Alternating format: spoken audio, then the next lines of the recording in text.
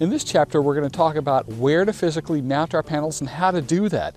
If you have a completely unobstructed view to the south, that's fantastic, but that's very rare. Most of us have to deal with trees.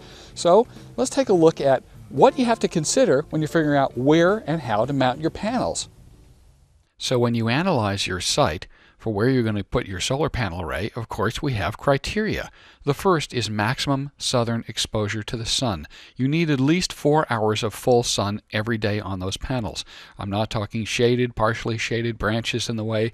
Panels only put out their maximum power when they're in direct, unobstructed sunlight. And the more hours you have of that, the more power you're going to get out of the array and the more value the system's going to have.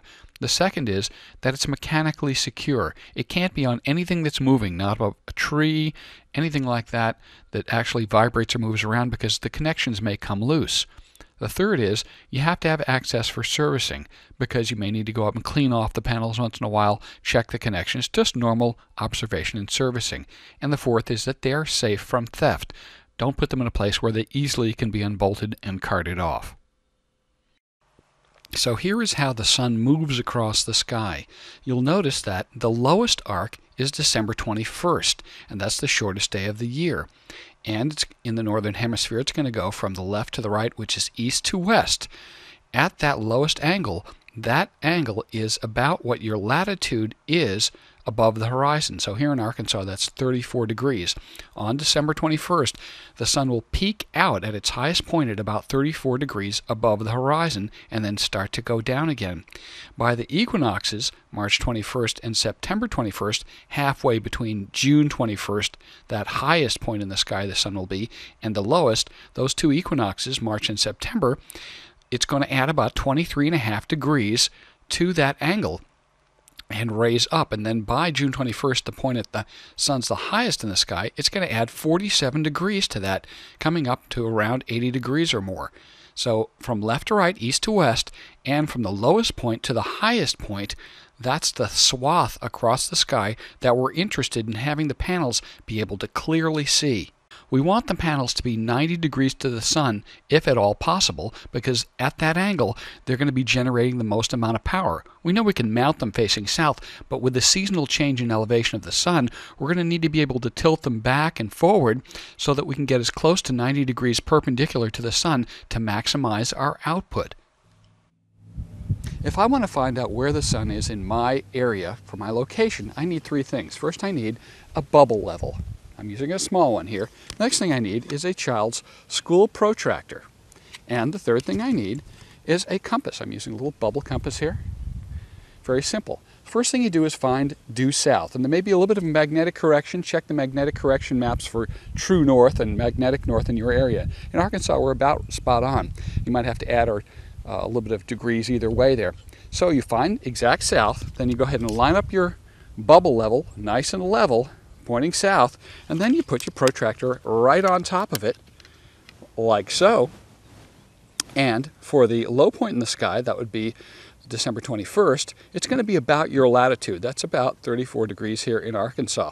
So I can look right on the protractor and see where 34 degrees is, and I'll know that the sun's going to arc from east to west at about that level at the low point in the sky. Then for the two equinoxes in September and March 21st, I add 23.5 degrees, which is really the tilt of the Earth's axis, and look on there and find, okay, those are the two midpoints. Then a full 47 degrees can be added to that low point for your June 21st high point in the sky midsummer reading pretty much overhead in most of the US. And with a slight variation from that, that's going to give you the exact swath across the sky that your panels need to be able to see clearly. And here's another little nice device. Oh, for 50 cents, you can take a piece of dowel and a piece of 2x4, drill a hole in the middle, and go ahead and stick a little piece of dowel in it. And what you can do with this is tell when your panels are exactly 90 degrees or perpendicular to the sun just by moving it like this. It's a really easy way to see what the angle directly at the sun might be. So, what are the optimum angles to adjust your array if you adjust, say, two, three, or four times a year? And the more you do adjust, the more you will be on angle to the sun and gather more energy. I've made a chart for you here that shows you if you do adjust it two, three, or four times, here are the approximate dates and the angles to adjust your array to. You can see that L being your latitude, you add a certain amount of degrees. And of course, the more you do adjust it, during the year, the more energy you're going to capture. We're not talking about a whole lot more. We're just talking about squeezing a little bit more out of the system. So the more proactive you are, the more power you can get out of your system. You can freeze the video, write the dates down, and make a little chart that you can put as part of your maintenance schedule. What about if you're going to put panels on the roof with a fixed tilt angle? What's the best angle? Well, of course, you're going to face due south with a maximum of 20 degrees off from left to right if the house is not perfectly facing south. Then align the tilt to 10 degrees higher than your latitude. And this is for locations in the USA between north 30 and north 40 latitudes, most of the central USA. This alignment favors the winter sun because your electrical needs are generally higher in the winter. You're in the house for longer periods using lighting and everything else. And the winter sun is weaker from atmospheric light drop. The sun has to go through more atmosphere for parts of the day to get to you, so you're not going to have as much energy there. So if you favor the winter a little bit, You'll certainly get enough power during the summertime, but you should sort of give a little bit of an edge to the winter sun. So, how do you make that call, that final decision as to where the array is going to go? Remember that number one, maximum full sun is paramount over all other criteria.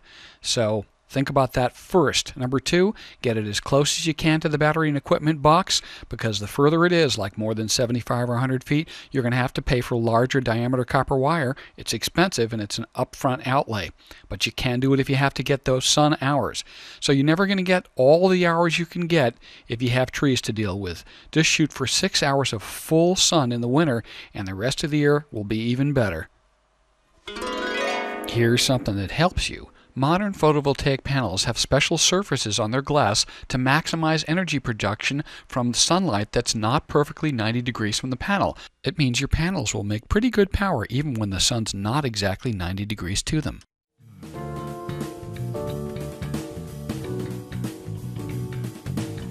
First, let's take a look at a commercially produced steel mounting frame.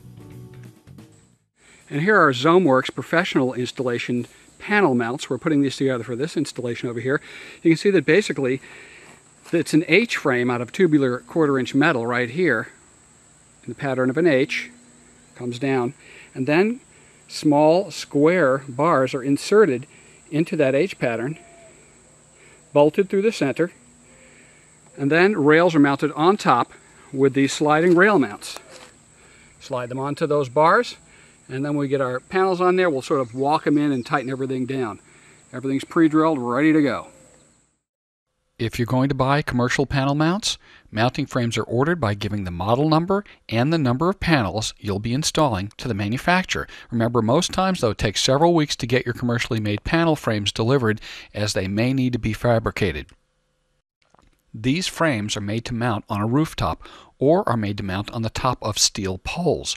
Most pole mounts are made to mount on top of Schedule 40 6-inch steel pipe. The pole is mounted so that fully one-third of it is underneath the ground. Here it is nice and straight and true, being braced up ready for concrete. Then we go ahead and put in at least a cubic yard of high-strength concrete, let it set, and our panel frame is then ready to mount on top of the pole. If you're having to mount more than one frame and more than one pole, you'll have to be sure that there's enough space between the poles that the frames do not touch each other and that when they're both mounted, they're both facing perfectly south. Commercial panel frames come with a spec sheet that specifies how much concrete will be needed for any given height pole. You can add rebar to the concrete or you can purchase some of the new fiber added high strength concrete. With rooftop mounting frames, they can be as simple as a U-channel metal stock that lays flat on the roof, and clips are available to mount the panels to those rails. Now you can only use this type of roof mount if your roof angle is nearly ideal for your latitude and your sun angles. If not, you're going to gather less energy.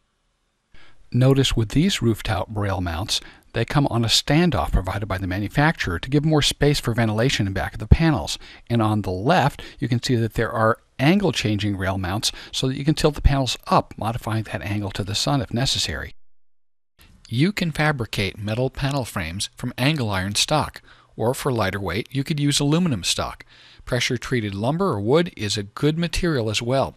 Remember that mechanical rigidity is mandatory. You cannot allow flex in the array mounting frame.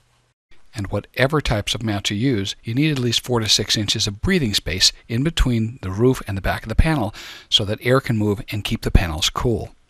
Here is the most basic type of frame you can make at home. This is made from metal or treated wood, and it's for use on shallow angle roofs. In other words, if you laid the panels on the roof flat, they would not be at the right angle. Or on the ground, if you are completely unobstructed, you have no trees, you're out in the desert, and you can mount it just a few inches off the ground for drainage. So you'll see you're making your frame with enough space left to right and top to bottom and vertical struts to mount your panels on. Your panels themselves will dictate this exact size of the frame. Notice in the corners I have little diagonals for rigidifying the frame. And the two bottom legs have several holes put in them so that your angle arms coming down from the frame can be adjusted seasonally when the sun changes. If this frame is laying directly on the ground, I do suggest that you use pressure treated lumber under those bottom legs if they are metal. For holding the frame solid, you need to have vertical stakes going into the ground to mount the two bottom legs in. In a temporary installation, you could even use cinder blocks or sandbags. Here's a frame like that that I constructed down in Texas, where I had to use that back side of the roof, and to get the angle, I was going to need an adjustable frame. The frames were then anchored onto the roof using metal L brackets, which were then water sealed. And here's one we just finished where we made a metal mounting frame and put it right onto a trailer for a portable solar power station. Only once your panels are securely mounted on your frames can you start to wire them together.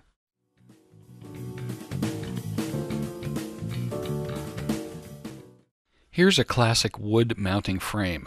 This would be for two, four, or six panels on a mount that's near the ground but lifted up, oh, between 4 and 12 feet and we're using all wood construction. You construct your frame on the ground, and you see the 2x4s that are in the center of the frame, those would be spaced out so that they can fit on the top of the poles with a half inch axle through it or nut and bolt. Now I'm using 4x4 for say two panels or 4x6 main poles for four panels. You go even up one more size if you're going six panels. And notice on the bottom of the frame are two 2x4s coming out at a diagonal because several holes are drilled in these diagonal 2x4 pieces, you can adjust the frame's angle seasonally for optimum solar gain. Now let's take a look at how I put together one such frame. This frame is custom made for four panels. The spacings are set so that the edges of the panels lap right over on those vertical 2x4s for mounting. I'm going to use stainless steel mounting hardware in this case. The corners of the frame are rigidified by using these diagonal inset pieces and the entire frame is screwed together using outdoor decking screws.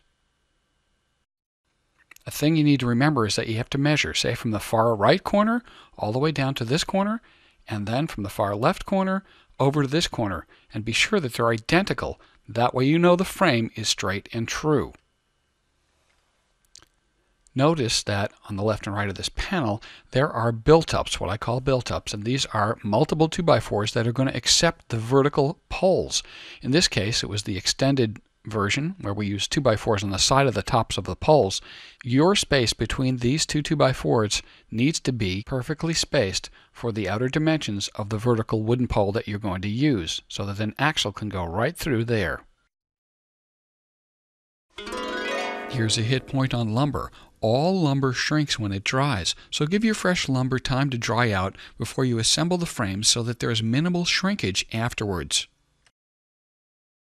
Here is a look at the diagonal brace piece. You can see that there are several holes drilled in it, so you can move the panel up and down and replace that little bolt in there to adjust it for seasonal angles to the sun. Now remember, with a wooden frame like this, there are weight limits, and it can get unwieldy if you have too many panels. So with 200 watt panels, you might go two or three. With 100 watt panels, you might be able to handle four, five, or six in one frame. This is what I call my hybrid design. And I make a traditional frame out of pressure treated lumber, but then take pieces of angle iron, five or six inches long, I cut them, and mount them in the four corners of each of the places that the panels will go in the frame. And then I mount the panels right to this angle iron. I align these with the holes on the panels themselves. The good thing here is that if your frame was not quite dry yet, your lumber's a little bit fresh, you can go ahead and mount your panels in here and leave a little bit of slack. In other words, just finger tighten them. And then come back a month later when the frame's dried out and shrunk maybe a little bit and go ahead and cinch them down. The other thing is it's not easy to mount your panels through this type of wood. I've done it many times, but you have to go all the way through it. So this way you can just mount right to the metal over here. Just remember to mount them pretty close to the top because you um, want the panel to protrude from the top of the frame so that it doesn't create an area around the panel to collect leaves that it drains nicely and easily. Let's take a look at a diagram. The frame is made just as I showed you with the pressure treated wood, but it's made so that the panels fit inside each space with about 3 quarters of an inch extra around the edges, and then the angle iron mounting plates are put in the four corners. Align them with the mounting holes at the four corners of your panel and then secure it with hardware. Now in this setup, I'm going to use four 200 watt panels, but I don't want to put all four into one big frame. It'd be too unwieldy, so I'm making two two packs. Each two panels will mount in its own separate frame and have its own vertical poles to hold it up, and the two sets of two will be mounted next to each other. So let's take a look at the back here. You can see that the angle iron mounting plates are right there in the four corners of the panel, corresponding to the four mounting holes which are already pre-drilled on the panel. You'll probably have eight holes totally on your panel to uh, allow you to mount it in a couple of different places. Now you'll see I'm using zinc plated hardware, easy to mount, and keep all the hardware loose while you're working on it so that you can then sort of jock everything into position because your holes won't exactly line up no matter how you try. And then you can move everything around and line the holes up and then cinch it down tight. This frame has diagonal bracing, just diagonal pieces cut with 45 degree angles at the four corners and that gives us me mechanical uh, stability that we need and a center brace there 2x4 so that we can mount our panels in the center. Now I like to mount my metal angle iron plates such that the panels protrude about a half an inch or so from the front of the frame. And why is that? Because on this side here I like to have a shorter drainage path for rain and snow to get through. Realize that you can make an inch or so spacing on the top and the bottom of the panels, but because you're using the mounting plates, the clearance on the left and right will necessarily be less. Here's about a quarter inch, such that when you mount those plates in there, the holes are going to line up for you. And that drainage channel is a little bit narrower, so if I raise the panels up, it just takes a little less effort for the water and such to get through.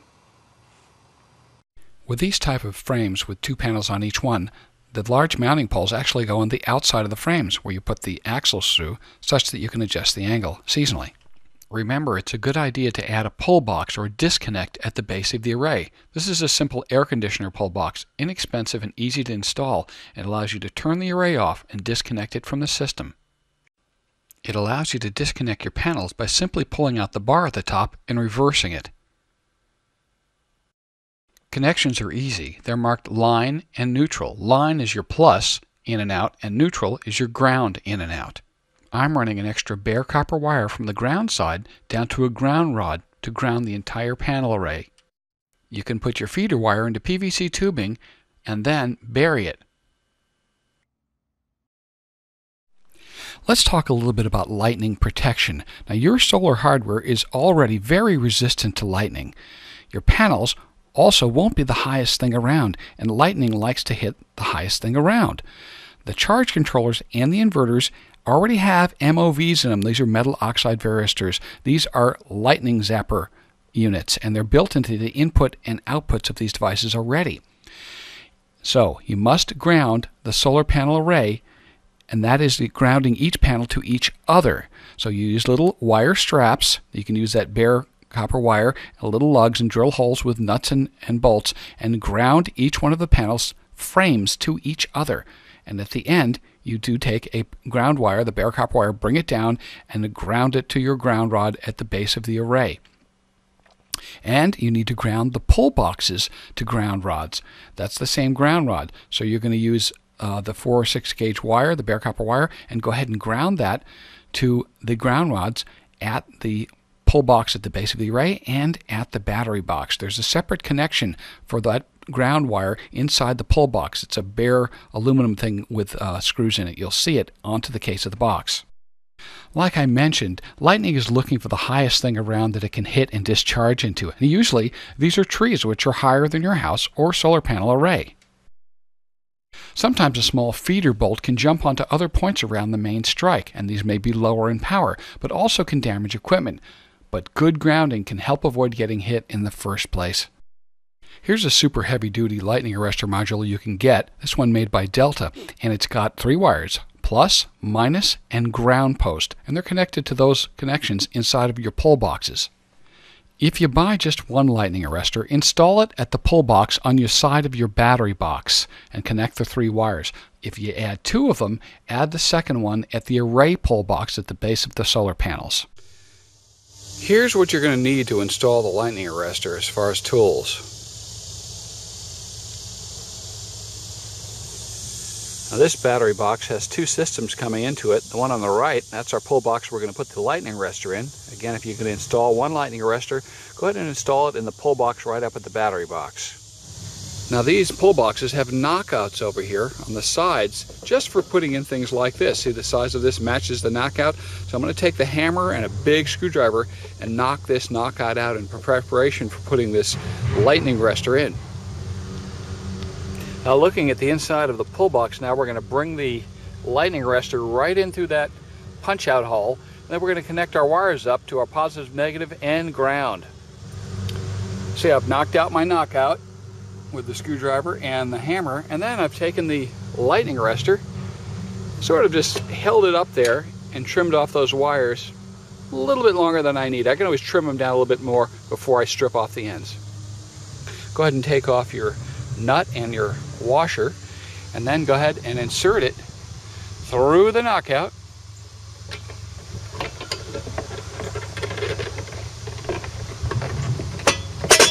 and this will go right into the hole handy dandy then you put your nut and washer over here and tighten them down now that we've got our nut and washer in place, don't, don't over tighten it because we do have plastic threads there. Really not a lot of uh, pressure or anything here, so you don't have to tighten it down too much. Then we're going to take our wires, and the red's going to go to your positive uh, coming in, and your black's going to go to your negative coming in. So you just now you can gauge exactly how long it's going to take to get up to these screw heads, and you can trim it off to the appropriate length.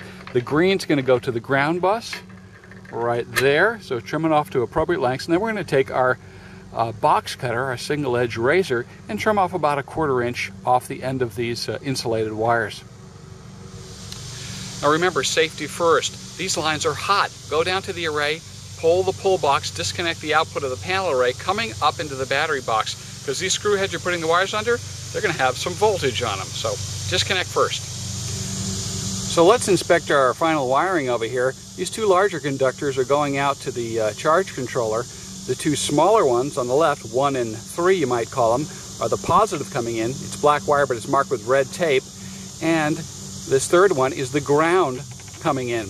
So we've got the green going to the ground bus over here, that little bonded strip that goes to the box, the black going to the black coming in from the panels, and the red coming into the positive coming in from the panels. Now you could connect it to the output as well, number two and four over here, uh, no problem because they are strapped together, but be sure that you're going to do the inputs, do both to the inputs, going to do the outputs, do both of them to the outputs over there. So that's how simple it is. Ready, done. Put the cover back on and close the pull box.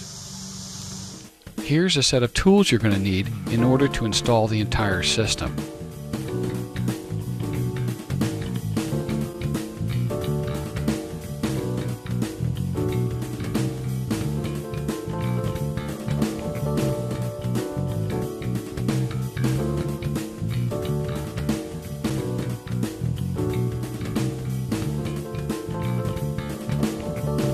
So let's review Chapter 11 Panel Mounting.